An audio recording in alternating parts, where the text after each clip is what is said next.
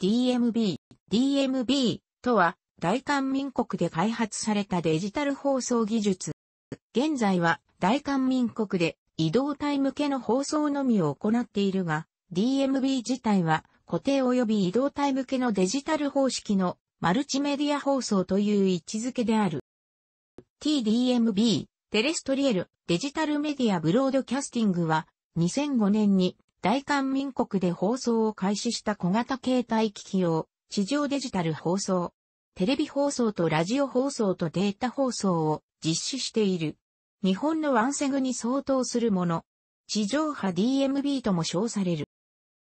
映像には H264、ABC、音声には MPEG-4 ビサック、データ放送には MPEG-4 システムズコアプロフィールを使用。送信周波数は VHF 帯を使用。受信困難な地域、地下鉄駅にキャップフィラー、電波中継機を約8000箇所、2006年12月現在、設置している。地下鉄駅に限っては、受益者負担の観点から、携帯電話事業者が設置、管理している。また、インターネットを通して、地上、DMB を遠隔受信する技術、IP 放送も開発された。暖房と呼ばれ海外でも、ほぼ同時に視聴可能となる。受信機は、日本国内でも販売されている。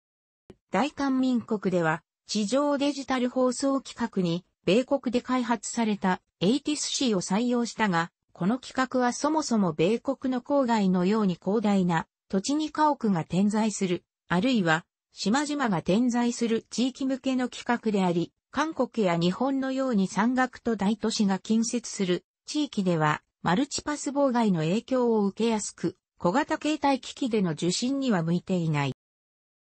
日本では自国の環境に合わせて ISDBT という放送方式を開発したが、日本より早い2001年に地上デジタル放送を開始した韓国では、一部の放送事業者や市民が中心となって ATIS-C よりも移動体受信に強いヨーロッパ方式 DVB-T への転換を求める運動も起きた。結局2004年7月になって政府の審議会がすでに放送開始した地上デジタル放送については方式変更せず ASC 方式を引き続き使用することとし、移動体向け放送については、欧州のデジタルラジオ企画ダブ、デジタル放送企画ユーレカマイナス147を元に独自開発することを決めた。2005年12月に一部地域でサービス開始し、2006年5月から首都圏の地下鉄にサービス拡大、2007年6月に国内全土にサービス拡大。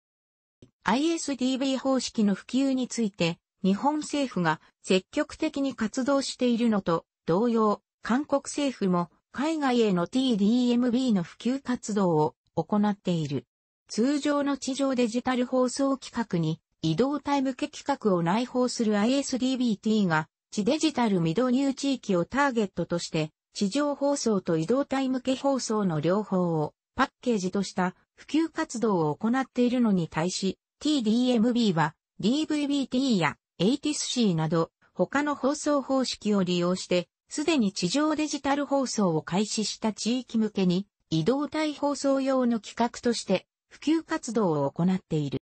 他の多くの移動体向け放送方式が UHF 帯の電波を使用するのに対し TDMB はより周波数の低い VHF 帯を使用するため韓国政府は海外への普及活動においては他の方式よりも電波が届きやすいとアドバンテージとして掲げている。ただし高層ビルの上層階において遠方の基地局からの電波が渾身して携帯電話の電波状態が悪化するのと同様、電波が届きやすいことは渾身の可能性を高めることにもなるので必ずしもアドバンテージであるとは言い切れない。また、VHF 帯では UHF 帯よりも大型のアンテナや受信回路、そしてより多くの電力を必要とするため、携帯電話などの小型の端末への搭載においては、かえって不利になる。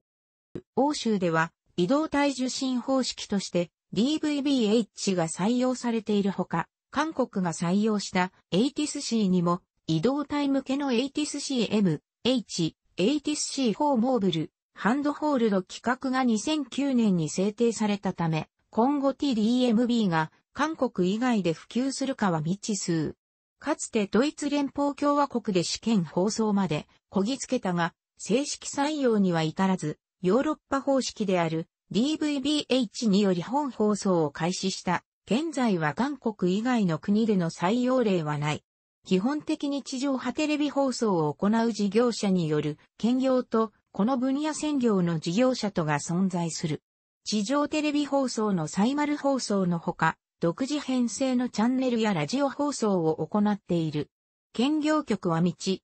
域市単位のブロックでの放送となる、親局中継局の関係。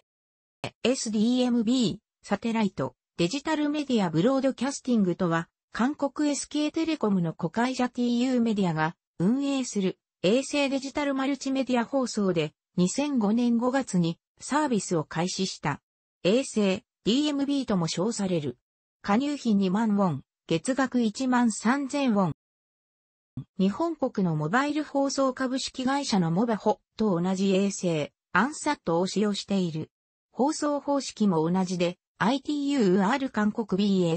BS1547 terrestrial component of systems for hybrid satellite terrestrial digital sound broadcasting to vehicular portable fixed receivers in the frequency range 1400から2700メガヘルツのシステム E を使用している。